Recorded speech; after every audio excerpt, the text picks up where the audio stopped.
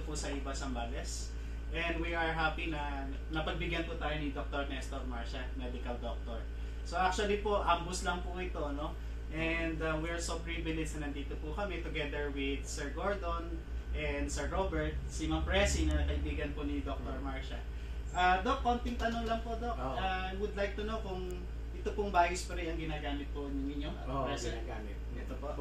For ano nga, for six months. Ah, six months na po, Doc. Mm. Ito po ba? Itong, yan itong dalawa. Ito pong dalawa.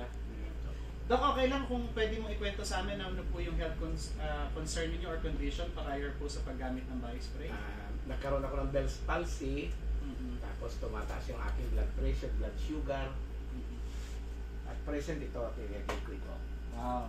Okay. Bali, six months na po Six kanya, months Doc. na. Oh.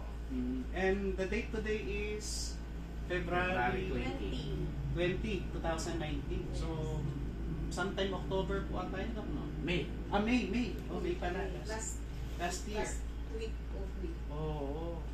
O ngayon naman po, Doc, during the time po na gumagamit kayo, ano po naramdaman niyo? May, may improvement naman. Okay naman. Okay. Yes. So ngayon po naman, Doc, after six months, so kumusta naman po? Okay pa rin. Ayos pa.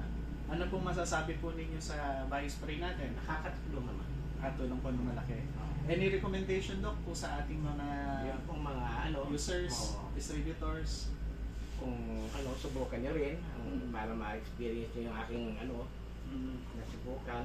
Mm. Mm.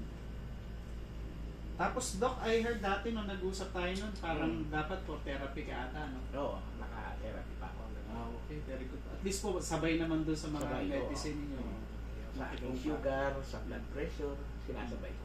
Ay, very good po. Saka happy po kami every time na may mag-inquire dito na if you're asking kung gumagamit ka ng body spray, talaga naman, Oo. you really advise po. Pwede, talaga pong pwede nyo i-recommend to sa mga ano natin, mga kaibigan. Oo. Any message po, Doc?